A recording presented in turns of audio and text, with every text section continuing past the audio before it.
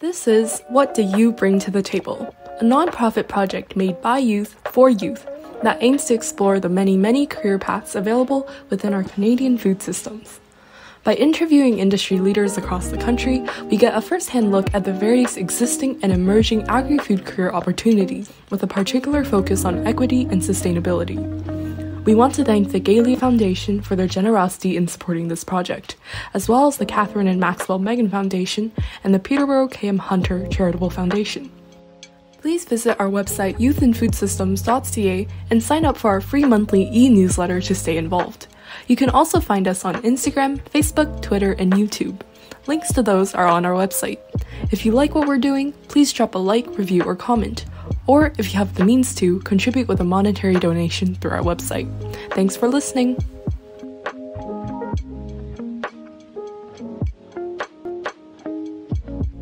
This is episode 6 Akshitha and Eckhard.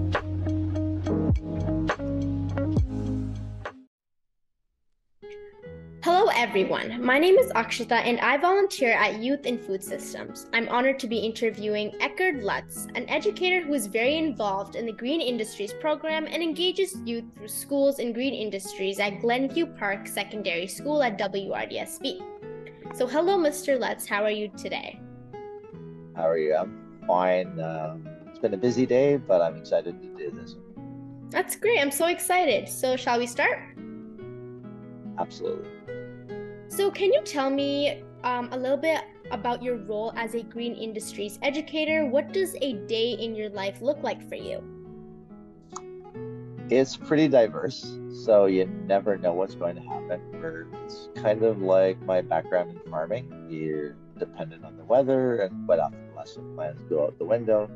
But when it comes right down to it, I think it's nurturing people, uh, animals, our livestock at school, and plants. So um, when I say people, I mean students, staff, community members, and um, just constantly always learning, always being on the lookout for new information, new ways of delivering my curriculum and my course, just to keep up with the times and keep everyone engaged. Yeah, so you must you must have to be very current with the times and what's happening when it comes to green industries current could be Bloomberg on the drive into work. Oh, okay. Mm-hmm. So it's that. Some days it's that current. It's what what's happening in the world.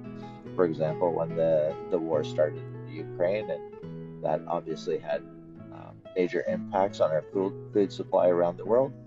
So that was a topic of discussion at that point in time. Yeah, that makes so much sense. And so, what path led you to this role? What educational background basically brought you here? Uh, that's a pretty crazy path. Uh, like many people, I've changed career paths. Um, I grew up on a family farm, so that's my my original farming background. Uh, my dad was a diesel mechanic, and his philosophy was um, you had to go learn a trade before you would be allowed to come back to the farm if you wanted to, to be involved in the farm. His philosophy was that way you farmed because you were passionate about it and not because you had to. You had something else to fall back on. Um, so I actually went to college for computer electronics and I was involved in um, research and development for military sonar. Um, and then from there, I went to Teachers College. Um, I figured out somewhere along the college route uh, through peer tutoring and stuff that I enjoyed teaching people, um, and I was seemed pretty good at it. And um, so I went off to Teachers College, but then ended up going back to the to my roots and to the farm and uh, farmed for quite a number of years, and then only in the last 20 years got back into teaching. So it's been a very crazy path. Yeah. And so, what is your favorite thing about your job then? Sharing my passion by far. Um, the fact that I, I'm passionate about teaching people and I'm passionate about agriculture. So, the fact that I get to morph those two things into a job and get paid for it mm-hmm. is unbelievable. Um, yeah, so that's that's probably the biggest thing. Um, and just seeing being able to share that passion with students and uh, yeah, that's yeah, that that that's makes the cool sense. thing. And so, what is the most challenging then?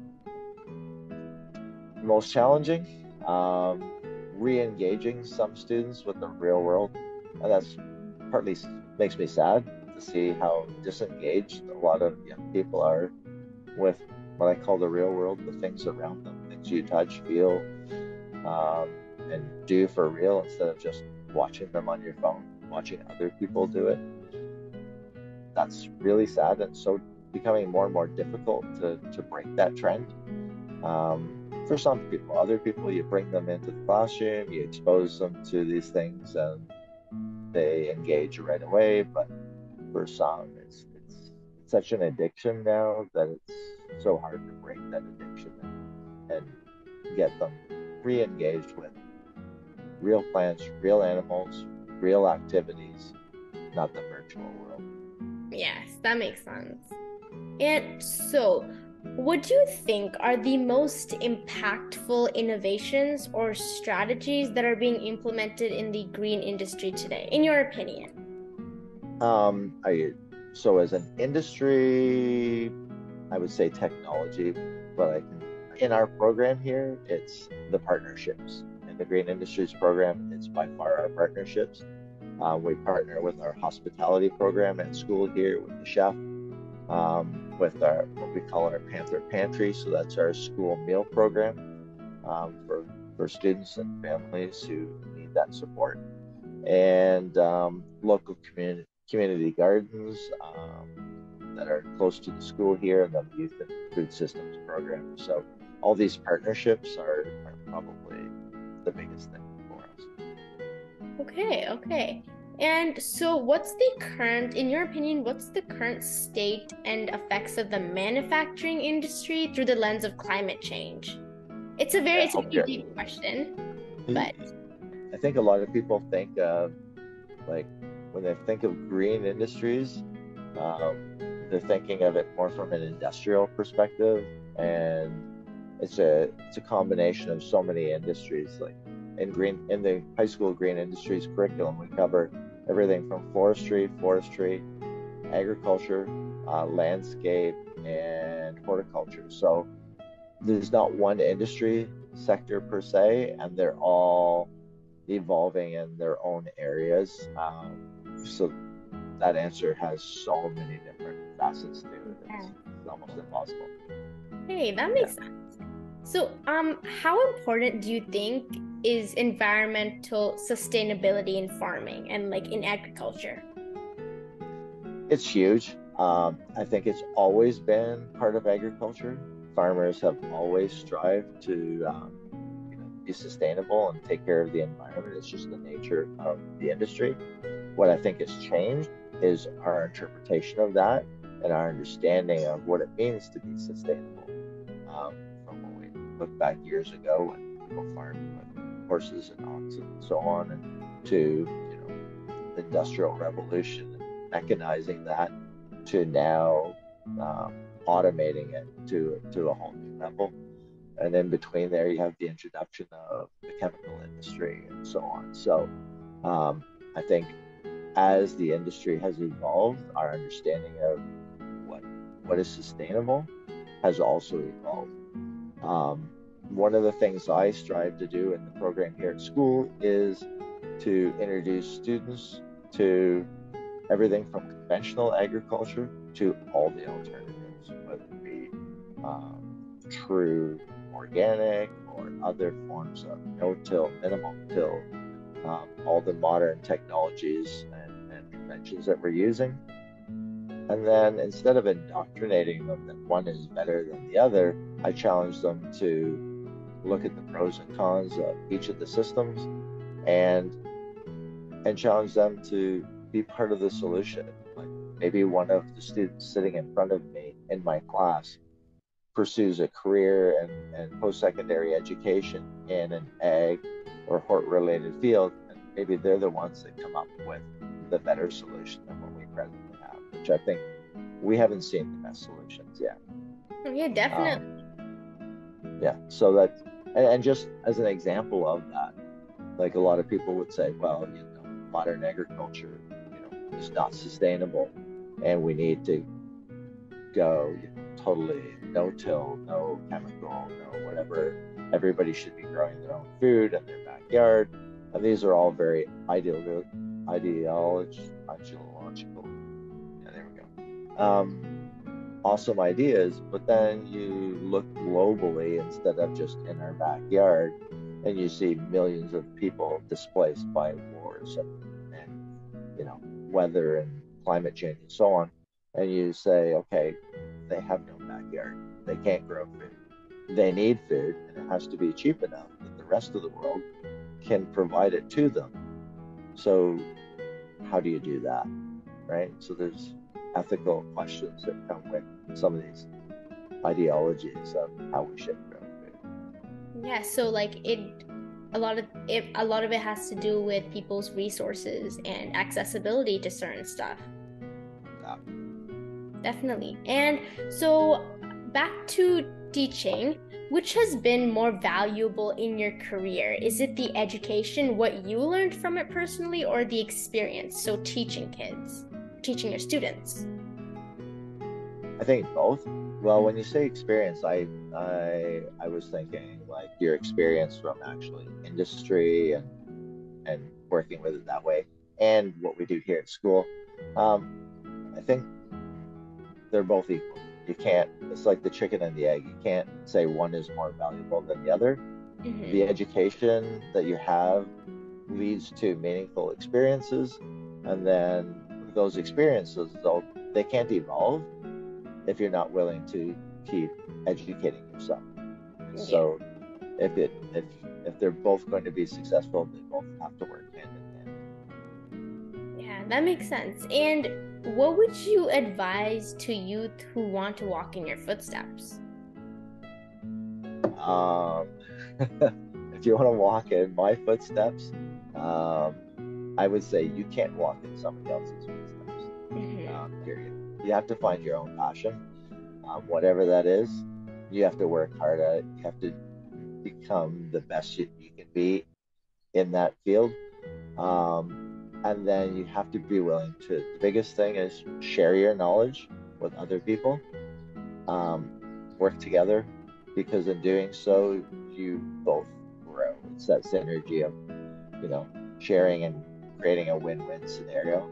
Um, that's been probably the root of my success is that willingness to um, pursue my passion, but also to share everything I've learned with people, whether it was when I was in industry, when I was farming full time, um, sharing with other producers and growers instead of trying to, you know, keep it to myself and be a little bit better than everybody else.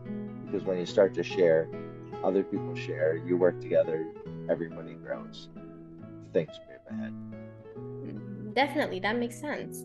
And so, what's one of the most significant changes you've observed in the green in- industries and its policies? Um, I would say the development and of technology and the speed of the adaptation of that, uh, the rate of development and the speed of adaptation. For years, for generations, I would almost say we did the same thing. After we mechanized farming, we kind of chugged along doing the same thing for a few generations, and not a whole lot changed. Um, and the rate of change now is phenomenal. Uh, if you're not keeping pace with new technologies, new practices, um, new equipment, new genetics, um, you're not you're not going to be current for long. So that that I feel has been probably the biggest change. Okay, so what type of new like policies have changed? Would you mind giving some examples or new equipment so, like that? Um, the automation of equipment, uh, whether it be robots harvesting in greenhouses or fully autonomous tractors and so on um, coming down the pipe.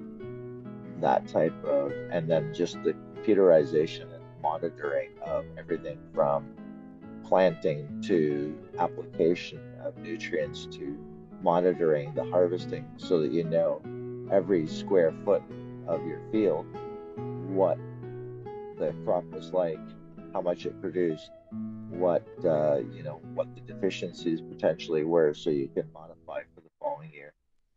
That type of information gathering and, and resource is is exponentially increasing. So that's a huge change. Okay, okay, that makes sense. And so, this is a little bit of a deeper question. So, what policies do you think should be implemented to accelerate the development and growth of green industries to transition towards a low carbon economy? I would say the biggest thing you need to do if you want to go in that direction is incentivize it. It's the type of thing that is hard to regulate. Um, so if we want to see that shift, it has to be through an incentivized program, whether it be financial incentives, market access incentives. Um, it's just regulation. I think well, what we're seeing globally is is, uh, is not not successful. So, an incentive-based program will whatever it is, the change that um, we're trying to to incorporate, it has to be an incentivized program. That way people buy in. Okay, and what type, can you give some examples of what types of changes or incentives? Anything from adaptation of new technologies, new practices, um, just all those sorts of things. it depends on the industry and what it is, and whether it's in the landscape industry and agriculture and forestry. Um, it has to be create created through a source of incentives, so that the population, the people involved in the industry, that everyone is is buying into it, and that it's a communal effort. Um, it's not not the type of thing that that I don't think we can successfully regulate. Okay. That makes sense. No, that makes sense. And coming back to your personal job, what are some of your greatest strengths and weaknesses throughout your job? I would say greatest strengths, um, work ethic from growing on growing up on a farm. So that that ideology of everything has a season and it needs to get done and when it needs to get done it might be a long day. Um, a broad skill set. When you grow up in that sort of environment you you get exposed to so many different things um, and then adding on to it my technology background from my schooling. Um, so that broad skill set.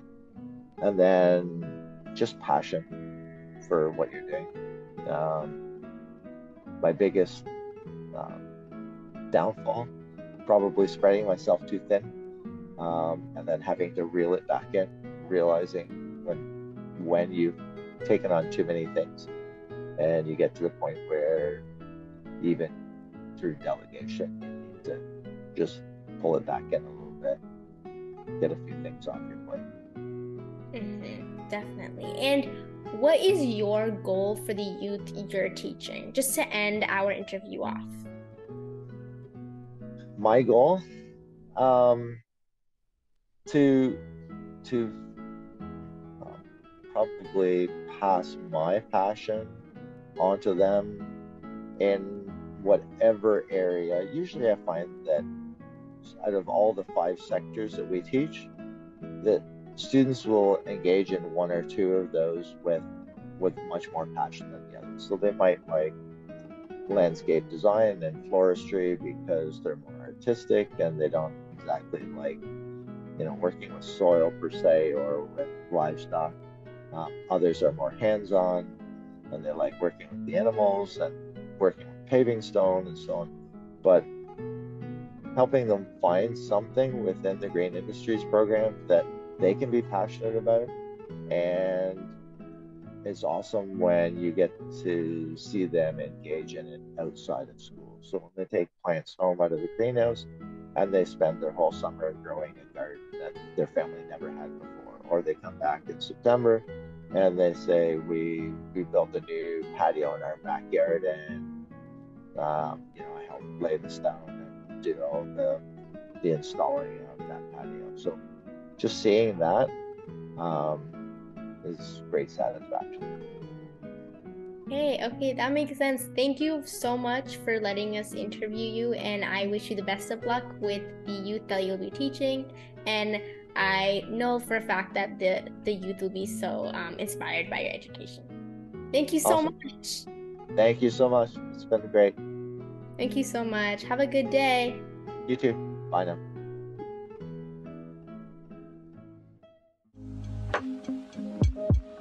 We hope you enjoyed this episode of What Do You Bring to the Table, a project of Seeds of Diversity's Youth in Food Systems program. Thanks again to the Gay Lea Foundation, the Catherine and Maxwell Meighen Foundation, and the Peterborough K.M. Hunter Charitable Foundation. And of course, thanks to you for listening. See you again soon.